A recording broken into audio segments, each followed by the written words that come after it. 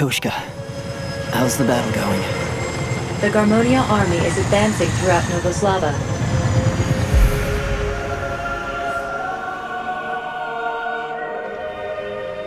Find a way to survive. That's been your only option since the beginning. I think I want to atone for something. What the hell is going on? Everyone said it wouldn't come to war. Official records confirm the death of condemned inmate D-105. You. There are only two things you're responsible for. Surviving and saving the civilians. I swear, I'll protect you. You goddamn narcissist! You can't save anyone!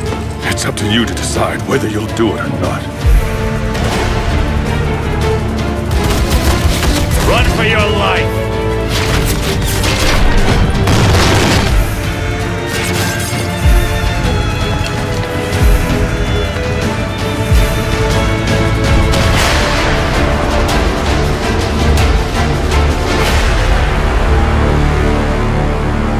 You never were anything more than a disposable tool to them.